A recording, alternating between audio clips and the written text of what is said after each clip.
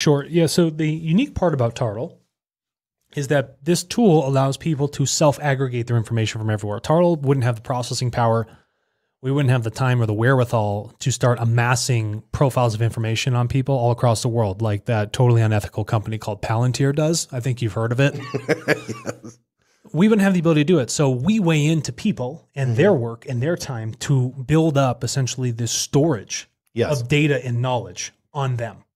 Now, in doing so, everything, when they're using it, there are categories which they can then perfectly chunk off all these different aspects of who they are in terms of their zero party data and Right. first party data.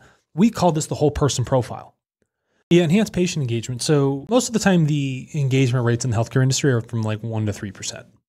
Yeah, it's pretty dismal. It's trash. I mean, I don't want to have a relationship with my healthcare plan. I don't want to be sitting in the hospital and feeling shitty and have to fill out a survey No, no, on, a, it on a clipboard. It doesn't work. Or I have to sit down with a care management nurse for two hours Yeah. for them to figure my life out. It wouldn't be great if I could just essentially put the bits and pieces of this together over time in an iterative format that's really beneficial for me and meets me where I am. Yeah, and I get paid to do it. Oh, super cool. So, in the stance of healthcare, like one of the big things in one of our recent case studies uh, dealt around things called notice of pregnancy.